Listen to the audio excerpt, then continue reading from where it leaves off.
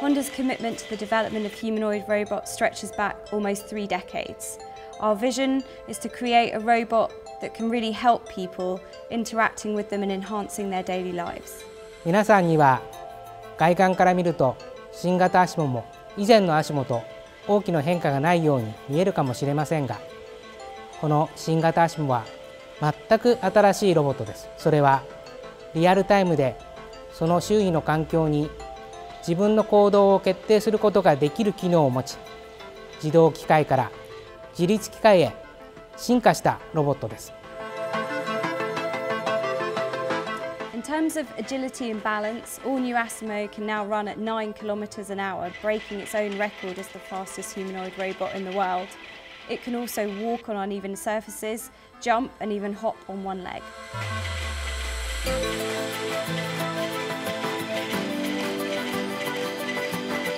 Asimo can now recognise the faces and voices of three people speaking simultaneously, something that's difficult even for you or I.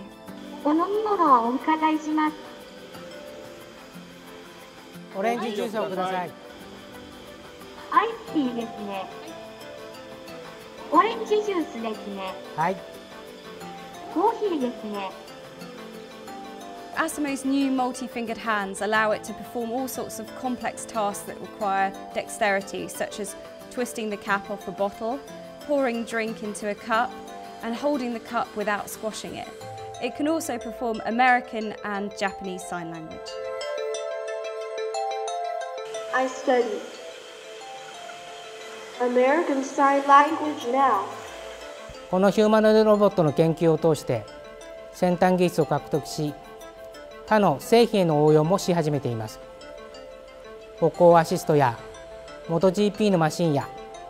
本日紹介するユニカブもその一つです。ユニカブベータはこれまでにない新しいパーソナルモビリティデバイスの提案です。そのコンパクトなサイズの中にホンダ独自のバランス制御技術と世界初の全保育動輪システムホンダオムニトラクションドライブシステムを搭載しています。これにより人々が歩く時と同じように前後や左右斜め方向など自由自在な移動を楽しむことができます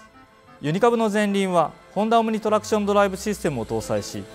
後輪は横に移動することで旋回するのを助けていますこのようにロボット研究は夢の人共存ロボットの実現のための先端研究に加えこの研究を通して獲得した技術の応用展開の両輪で進めていきます。Hi, Ashmore. We want our robotics technologies to lay the foundations for future mobility. We've got a long way to go, but in the future we truly believe that robots can be an integral part of, of everyday life.